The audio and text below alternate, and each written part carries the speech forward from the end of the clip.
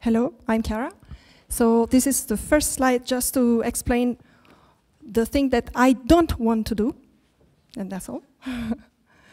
um, I'm proposing here just to, to extend the GIS uh, standard to uh, including uh, FITS, uh, FITS images, FITS format, or extended FITS format to, to, uh, to be included in the GIS standard.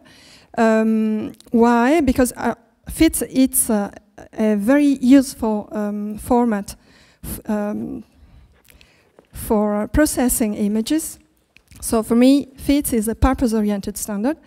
FITS is open and flexible, uh, and it's appropriate for large amounts of raster data processing. And this is a largely large community uh, working on uh, developing and maintain, maintaining uh, FITS uh, processing tools. Yes, FITS is missing a planetary specific definition in a world coordinate system. And FITS suffers from incomplete implementation in GDAL, G, GDAL, GDAL library.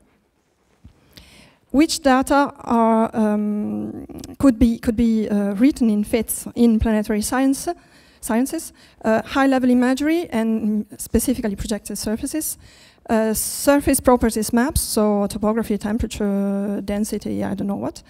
Um, spectral cubes, because spectral standards are already um, defined in, uh, in FITS.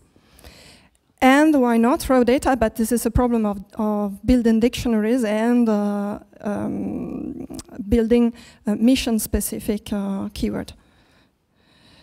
Uh, the, the advantage of introducing um, uh, FITS in, uh, in planetary sciences uh, format is that FITS is not incompatible with metadata PDS archiving. There are already HST images of Mars um, stored in the, in the archive in PDS and PSA. Um, and WCS description, I think, is simpler than GIS projection schemes. Uh, no need for oblique projections definitions and no need for datum projection coupling. Well, ISIS and PDS already know that, and why not? Uh, if, if ISIS and PDS are read by uh, and QGIS, why not FITS? You, you can use the same, the same description.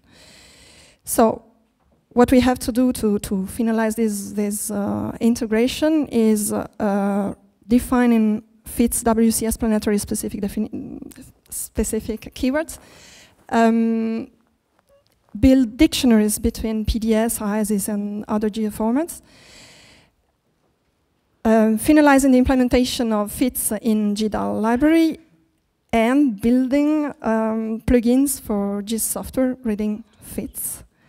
And then um, thinking about um, um, about expert for FITS um, for WMS server because FITS is not really a good format for um, for remote visualization. So you need you need change this format. That's that's right. That's normal.